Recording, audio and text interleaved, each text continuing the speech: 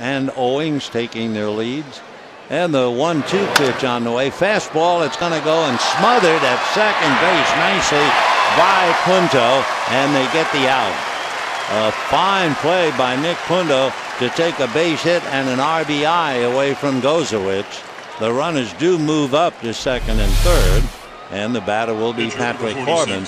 Big play by Punto. So the runners move up. Gosewisch is denied.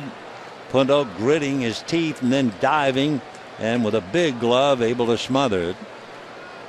That glove appears bigger than most.